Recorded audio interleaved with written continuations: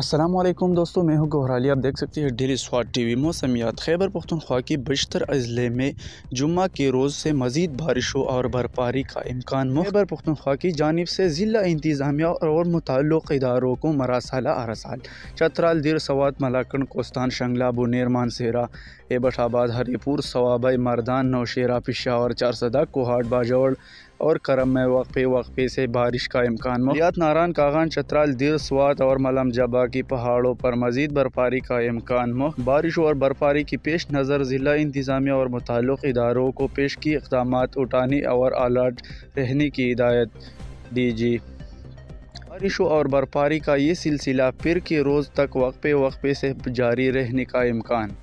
बारिश और बर्फबारी की पेश नज़र ज़िला इंतज़ामिया को छोटी बड़ी मशीनरी की दस्ती यकीनी बनाने का हिदायत। सियाही दौरान सफ़र खसूसी एहतियात तदाबीर इख्तियार करे और मौसमी सूरत हाल से बाखबर रहे। पी डी एम ए का इमरजेंसी ऑपरेशन सेंटर मुकम्मल फहाल है। डी, आवाम की किसी भी नाखुशगवार वाक़े की इतला हेल्पलाइन सत्रह सौ पर दीजिए। सलाम। दोस्तों, मजीद अपडेट्स के लिए हमारे यूट्यूब चैनल को सब्सक्राइब करें। Daily Swat T